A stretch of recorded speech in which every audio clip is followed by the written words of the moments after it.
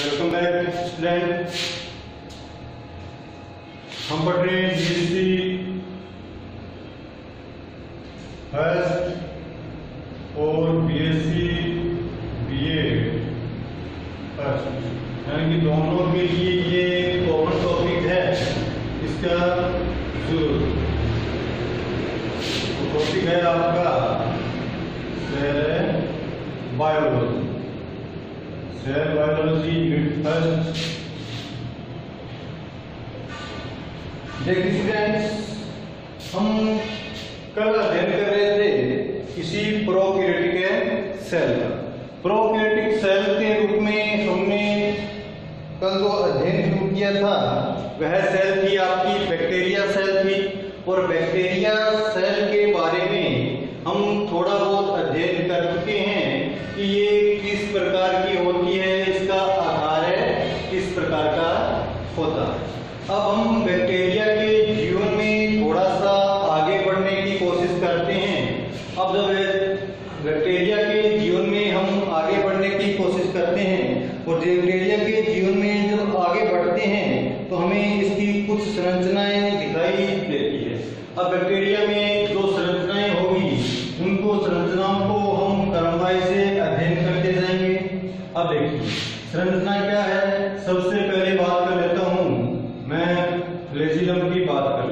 किसकी बात कर लेता हूँ फ्लेजिलम की बात कर लेता हूँ।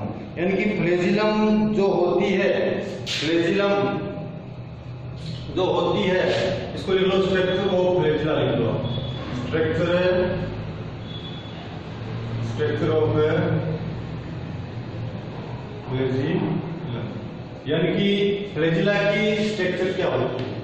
देखिए स्टूडेंट हमने आपसे बात की थी जब हम डिफरेंस पढ़ा रहे थे, इसमें प्रोकैरियोटिक और यूकैरियोटिक है सेल में।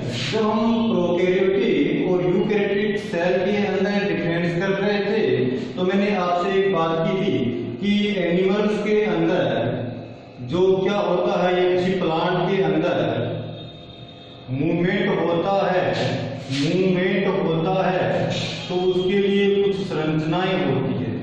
उसके लिए कुछ संरचनाएँ होती है उन संरचनाओं में से सीलिया होते हैं फ्लेजिला होती है। ठीक है? यानी कहने का अर्थ है कि ये जो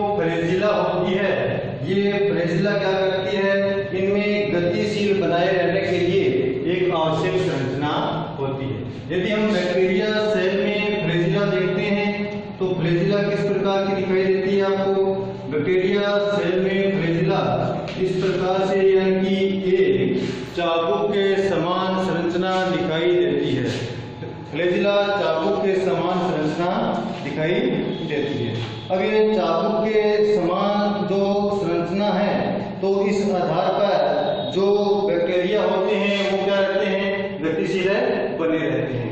यदि हम प्रोकैरियोटिक सेल और यूकैरियोटिक सेल दोनों की फ्लेजिला में बात करते हैं तो फ्लेजिला क्या है? एक इस प्रकार की स्ट्रक्चर है। फ्लेजिला इस प्रकार की स्ट्रक्चर है। यूकैरियोटिक में क्या होता है कि इस फ्लेजिला के किनारों पर छोटे छोटे फाइबर्स इस प्रकार से। यानी कि नौ तंतु इसके किनारों पर, जबकि दो कहाँ पाए जाते हैं? बीच में पाए जाते हैं। किसमें? यूकैरियोटिक सेल में। यदि हम प्रोकैरियोटिक सेल की बात करते हैं तो प्रोकैरियोटिक सेल में यहाँ पर किनारों पर किसी भी प्रकार के फाइबर्स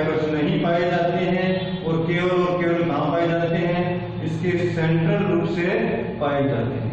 ठीक है? यदि ये किनारों पर पाए जाने वाले यू पीरियड को हम क्या बोलते हैं? नो प्लस दो की व्यवस्था बोलते हैं, जबकि इसमें केवल सेंटर में पाए जाते हैं किनारों पर किसी प्रकार के तंतु नहीं पाए जाते हैं। इसकी प्रतिला में किनारों पर किसी प्रकार के तंतु नहीं पाए जाते हैं। तो इस व्यवस्था को हम क्या बोलते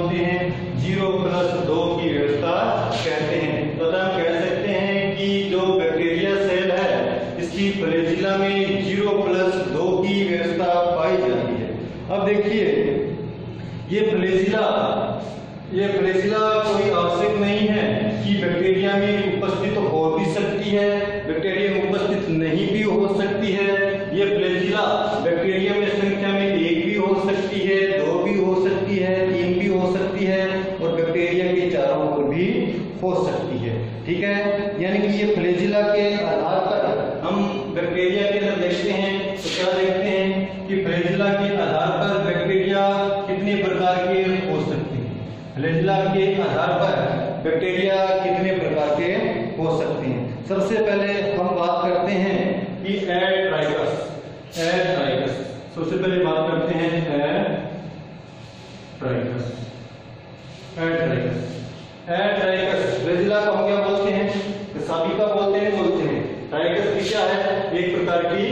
इकाई है रेजिला के नाम ट्राइकस भी कह सकते हैं। ए ट्राइकस का अर्थ क्या हो गया? ए कसाबी ए कसाबी यानी कि ऐसे बैक्टीरिया ऐसे बैक्टीरिया जिनमें क्या इकाई आती है रेजिला अनुपस्थित तो होती है। ऐसे बैक्टीरिया जिनमें रेजिला क्या होती है? अनुपस्थित तो होती है। इस प्रकार के बैक्टीरिया को क्या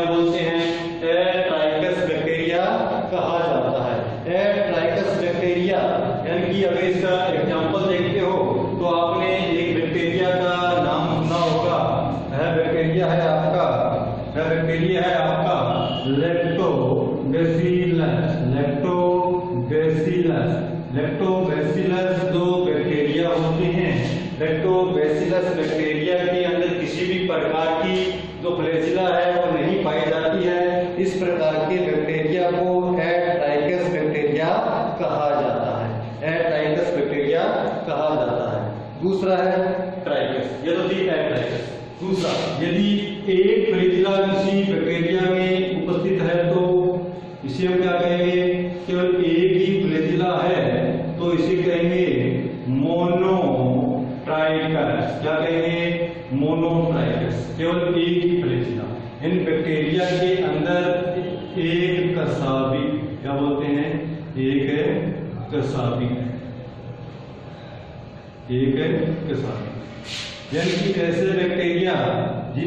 होती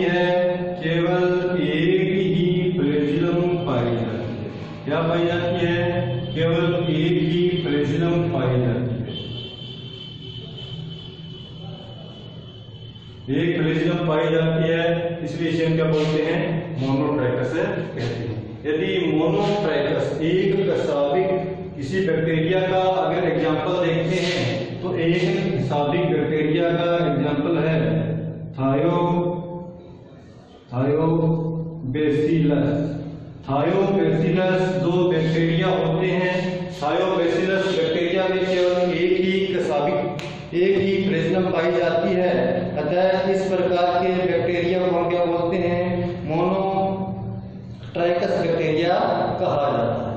मोनोट्राइकस बैक्टीरिया कहा जाता है।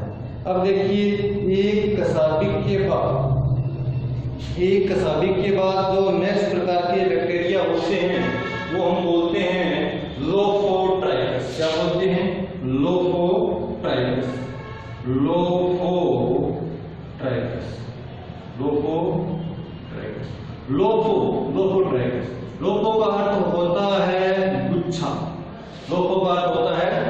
पूछा यानी कि बैक्टीरिया। बैक्टीरिया की एक सिरे से एक सिरे से एक सिरे से क्या हो?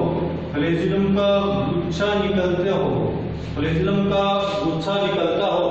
तो इसे हम क्या बोलते हैं? लोकोट्राइकस बैक्टीरिया कहते हैं। या कुछ कसाबी बैक्टीरिया कहा जाता है। कुछ कसाबी बैक्टीरिया या लोकोट्राइकस बैक्टीरिया कुछ कसाबी या लोफो ट्रायकस का यदि हम एग्ज़ाम्पल देखते हैं तो विब्रियो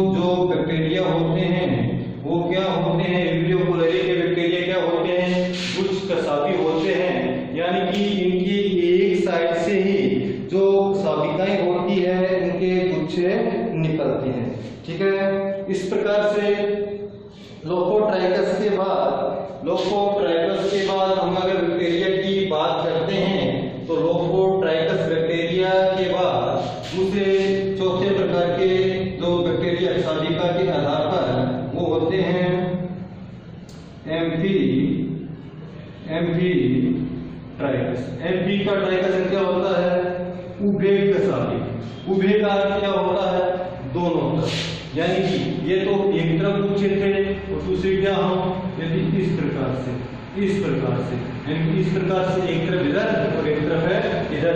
यदि बैक्टीरिया के शरीर से दोनों साइड से यानी कि इस प्रकार के जो गुच्छे निकलते हैं तो इस प्रकार के जो गुच्छे निकलने वाली संरचना को हम क्या बोलते हैं? एम्फीट्रैकस कहा जाता है। एम्फीट्रैकस बैक्टीरिया का यदि हम एग्जांपल देखते हैं तो ये है आपका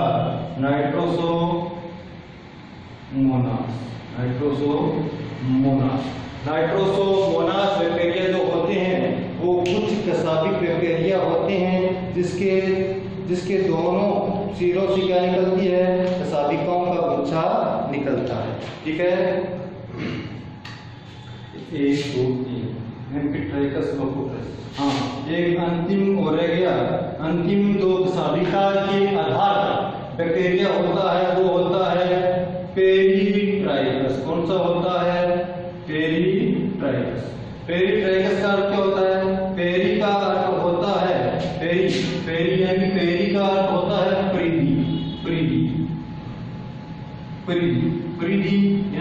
यानी कि चारों ओर का एरिया यानी बैक्टीरिया बैक्टीरिया की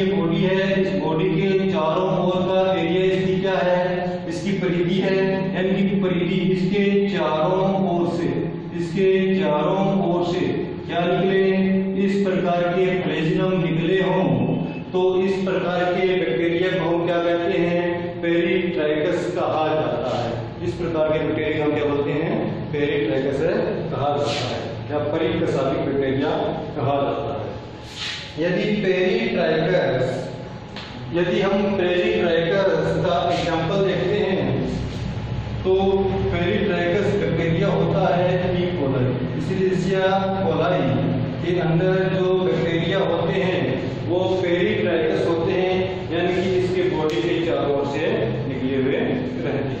तो इस प्रकार से ये है फ्लेजिलम फ्लेजिलम फ्लेजिलम स्ट्रक्चर के आधार पर इसमें क्या है ज़ीरो प्लस दो की व्यवस्था पाई जाती है यदि किसी भी बैक्टीरिया के अंदर फ्लेजिलम नहीं है तो इस प्रकार के बैक्टीरिया को एक्साबिक बैक्टीरिया लैक्टोबैसिलस एक है तो मोनोट्राइकस थायोबैसिलस यदि लोकोट्राइकस लोकोट्राइकस का अर्थ क्या होता है? एक सिरे से निकलने वाले कसाबिकाएँ का गुच्छा विब्रियो कोलरी के अंदर पाया जाता है एम्फीट्राइकस दोनों सिरों से कसाबिकाओं के गुच्छे निकलते हैं। तो एम्फीट्राइकस और शरीर के चारों ओर से कसाबिकाओं के गुच्छे निकलते हैं, जिसके बोलते हैं पेरीट्राइकस कहा जाता है।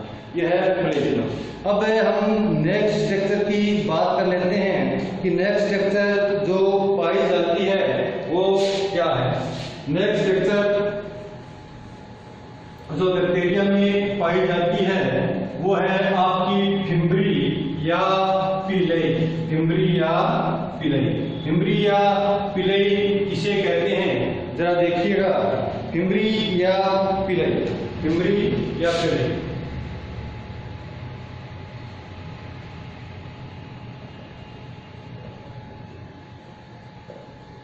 फिम्बरी या पिलई फिम्बरी या पिलई क्या है? फिम्बरी या pili fimbriae. Fimbriae fimbriae. Fimbriae या पिलई फिम्बरी या पिलई कुछ नहीं है। ये कोई बैक्टीरिया है। और बैक्टीरिया के पूरे शरीर के चारों छोटे छोटे हेयर के समान स्ट्रक्चर यदि पाई जाती है, यदि ये स्ट्रक्चर पाई जाती है तो इस स्ट्रक्चर को फिम्बरी या पिलाई कहते हैं। फिम्बरी या पिलाई का बैक्टीरिया की मूवमेंट में कोई योगदान नहीं होता है। बैक्टीरिया के मूवमेंट में कोई योगदान नहीं होता है। तो सर, ये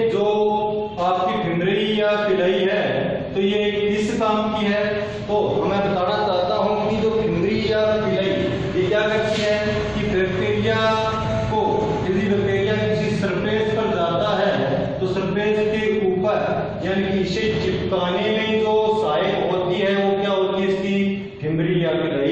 खाती है। किसी भी सरफेस के ऊपर, इस बैक्टीरिया को चिपकाने में क्या होती है? सहायक होती है। इसके अलावा, जो आजकल मॉडर्न कंसेप्ट भी है इसका मॉडर्न कंसेप्ट क्या कहता है?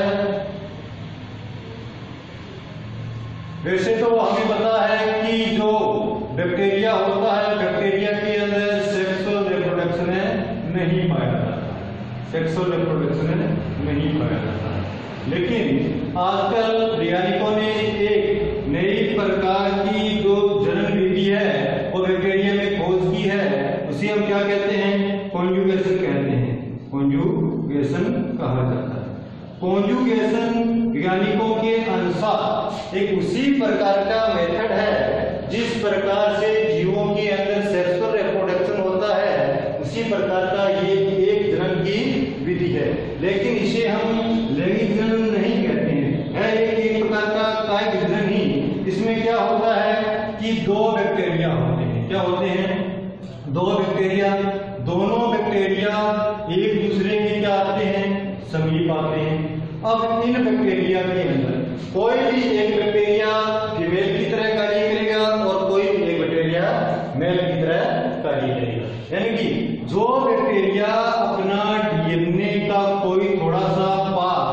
किसी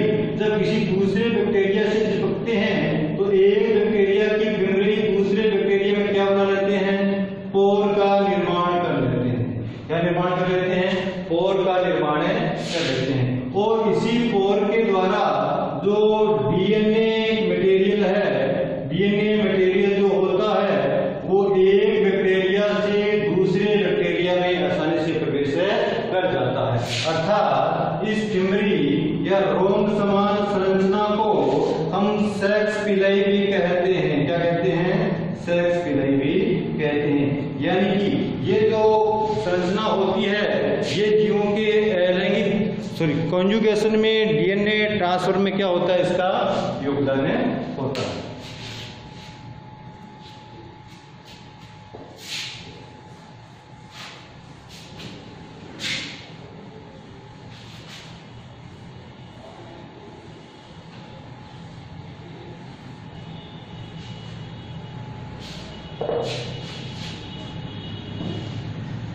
अब हम बैक्टीरिया में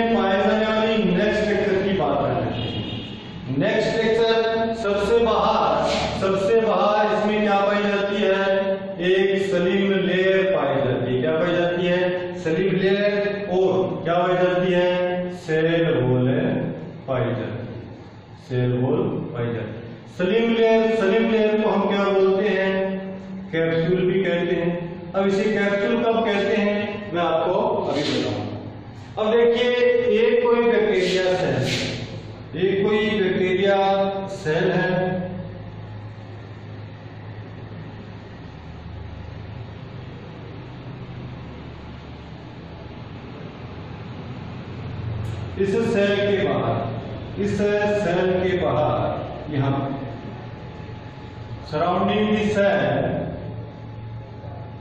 एक जेली समान आवरण पाया जाता है। यानी कि एक लसलसे पदार्थ की जो एक परत है, वो पाई जाती है। ये जो लसलसा पदार्थ की जो परत है, इसे ही हम क्या कहते हैं? सलीम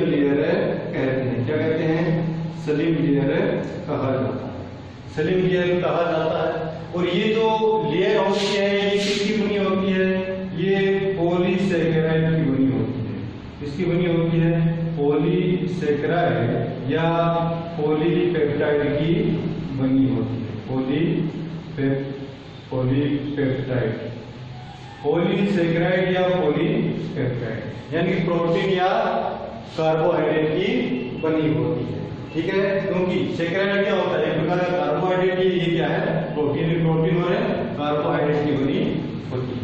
अब देखिए स्ट्रेंथ कि ये जो स्लिम लेयर है स्लिम लेयर अब देखिए, अगर बैक्टीरिया के ये इन्वायरमेंट में कोई इसके विपरीत या प्रतिकूल पोजीशन आ जाती है, या इसका इन्वायरमेंट इसके प्रतिकूल हो जाता है तो ये स्लिम लेयर की विशेषता होती है।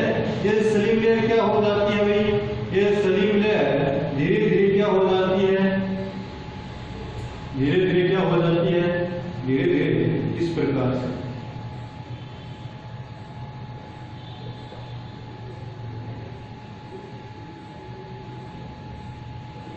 ये शरीर में धीरे धीरे इस प्रकार से। क्या हो जाती है कठोर हो जाती है इस प्रकार से शरीर में क्या हो जाती है? कठोर हो जाती है। जब ये शरीर कठोर हो जाती है, तब तब इसे अब हम लेयर नहीं कहते हैं। तब इसे हम क्या कहते हैं? कैप्सूल कहते हैं। क्या कहते हैं? कैप्सूल। कैप्सूल का कवच होता है? यानी कि बैक्टीरिया के चारों क्या बना लेती है? एक कवच का निर्माण करा लेती है, ताकि ये बैक्टीरिया का जो शरीर है, वो बाह्य वातावरण से क्या रहे? पृथक रहे। यानी कि बाह्य वातावरण के ताप आदि का प्रभाव इसके बैक्टीरिया पर ना पड़े इसलिए ये कठोर परत में परिवर्तित हो जाता है और इसे क्या कहा जाता है कैप्सूल कहा जाता है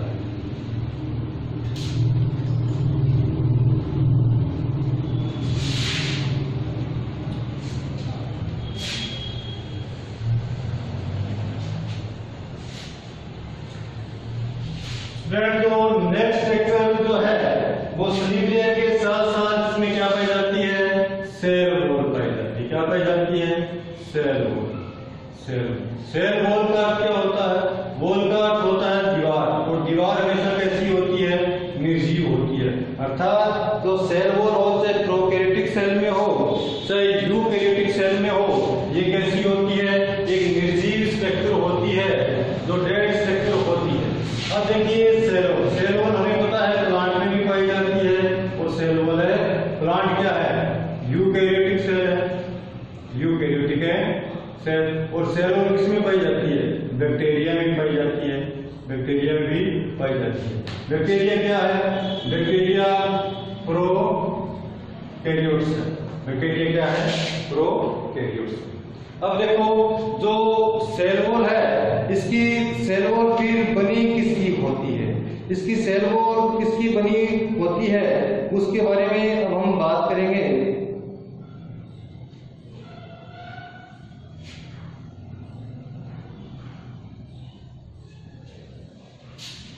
इसकी सेल वॉल के बारे में बात करेंगे। देखिए, सेल वॉल प्लांट में तो किसकी बनी होती है? प्लांट में बनी होती है, सेलुलोज की बनी होती है। जबकि प्रोकैरियोटिक में प्रोकैरियोटिक में क्या होता है? प्रोकैरियोटिक में होता है N acetyl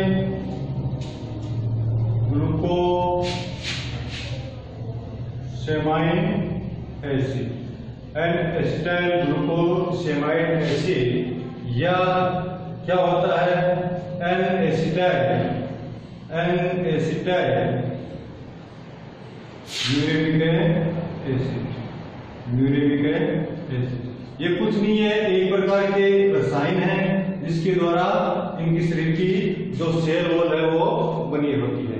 यानी कि एन एसिटाइल ग्लूकोसेमाइन एसिड या म्यूरेमिक एसिड्स के द्वारा इसके शरीर की सेल वॉल बनी होती है। जो एसिटाइल ग्लूकोसेमाइन और म्यूरेमिक जो एसिड होते हैं, वो इसकी सेल वॉल में एकांतरित क्रम से जुड़े रहते हैं। एकांतरित क्रम से कैसे? कि देखिए, कि यहाँ पर क्या है? कोई म्यूरेमिक एसिड यहाँ पर glucosamic acid muramic acid glucosamic acid इसी प्रकार से हम आगे की बात करते हैं तो आगे की वर्ग में भी क्या होगा? यहाँ पर कोई glucosamic acid muramic acid glucosamic muramic acid इसी प्रकार से muramic glucosamic muramic glucosamic glucosamic muramic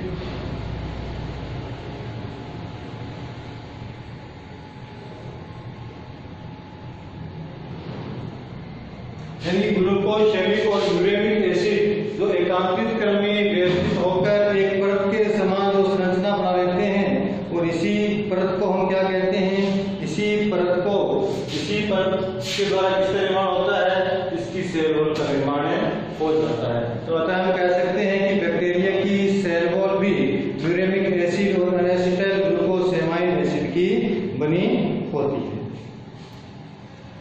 अब आगे की संरचना